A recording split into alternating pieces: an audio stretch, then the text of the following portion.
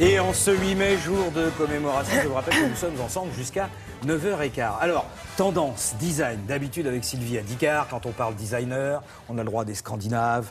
La ligne est très, très épurée, hein, voire euh, barbante. Eh bien, tout ça, c'est terminé. avec euh, Piero Fornasetti. Attention, Piero Fornasetti, c'est un designer en ce moment au Musée des Arts Décoratifs à, à Paris. Et alors, vous avez eu un coup de cœur. Ah, j'adore.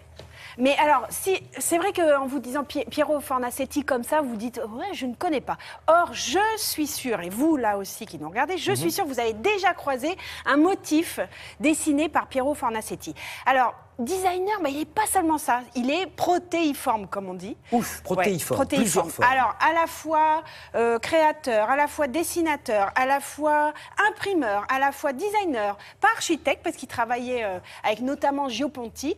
Il a tout fait. Et il adorait l'objet multiplié par, par 100, par 1000, par 10 000.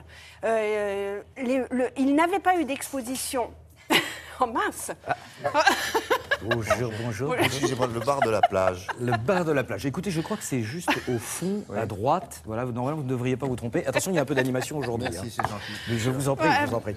Oui, alors vous disiez donc il est fantaisiste. Il fait des farces, il apparaît comme Comme- ça. Voilà, il apparaît exactement Voilà. comme ça. Comme Eh ben, c'est ça, de- et il est italien. Il est- oui, il, il était italien. Il était parce qu'il est Oui, mort. Il était et son fils a repris derrière lui le flambeau et il est exposé au musée des Arts décoratifs à Paris. Ouh, Rame, rameur, ramé. Regardez.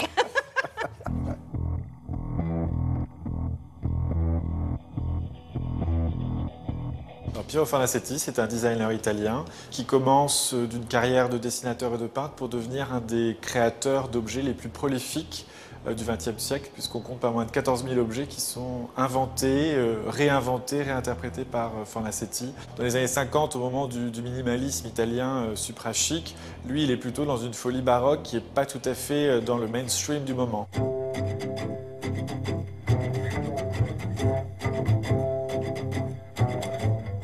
Avec son fils Barnaba, on s'est lancé dans ce- cette adaptation de l'exposition qui avait eu lieu à Milan il y a deux ans, euh, dans un esprit de générosité. C'est un artiste qui ne mérite pas d'être présenté avec quelques objets présentés sous vitrine, euh, comme des choses euh, déminéralisées sous cloche, mais vraiment c'est quelqu'un qui doit être vu dans la profusion, dans la multiplicité, Euh, des centaines de plateaux, des centaines d'assiettes, beaucoup beaucoup de dessins.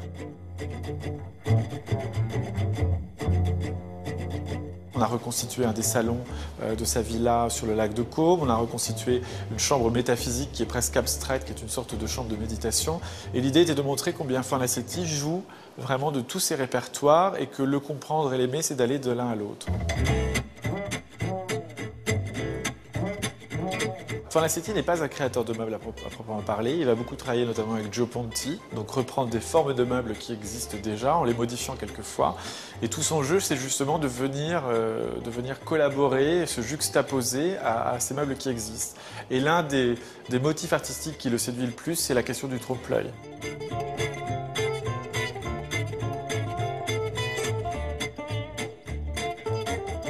A le visage d'une femme, qui est Lina Cavalieri, qui est une grande cantatrice, et qu'il découvre un jour dans, un- dans une revue illustrée de la fin du 19e siècle. Il tombe amoureux de ce visage. Il se dit voilà, j'ai tenu ma Joconde. Il va euh, décomposer ce visage, le travestir, le transformer, en prendre un élément, le modifier, euh, mais répéter comme ça sur des, centaines et des centaines d'exemplaires, et à chaque fois différent, euh, vraiment pour le coup devient euh, sa signature à lui finalement.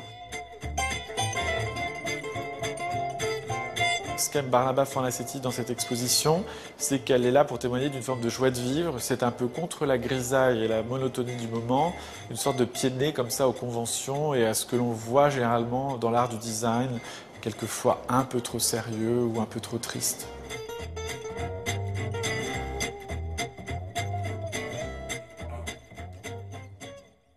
J'aurais pu être cantatrice. Voilà, Piero Fornasetti. Voilà. Bon, c'est magnifique, on a, on a presque envie de se dire, mais est-ce qu'on pourrait aujourd'hui trouver ces objets? Parce qu'il est mort. Il est mort, mais je vous disais, son fils Barnaba a repris le flambeau. Et effectivement, vous pourrez trouver ces objets. euh, c'est vendu euh, au musée des Arts Déco, mais aussi ailleurs, dans, dans des boutiques spécifiques, dans un un endroit à Paris où, euh, qui a en exclusivité toute la collection de Fornasetti. Et c'est, en tout cas, jusqu'au 14 juin, je vous conseille de courir vers cette exposition, aujourd'hui notamment, et avec les enfants, parce que c'est très joyeux.